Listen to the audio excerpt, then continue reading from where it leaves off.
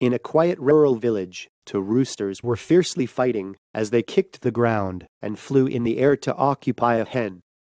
They fought for a long time, and the winner was finally decided.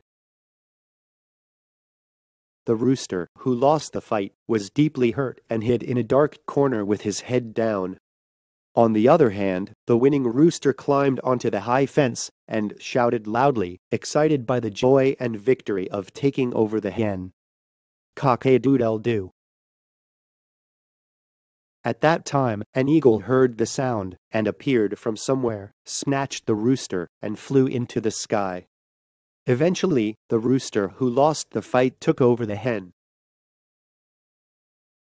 There is no eternal winner or eternal loser in life. Today's winner can be tomorrow's loser, and today's loser can be tomorrow's winner. So you shouldn't be conceited just because you won once. Here's a quote from Anna Eleanor Roosevelt More people are ruined by victory, I imagine, than by defeat.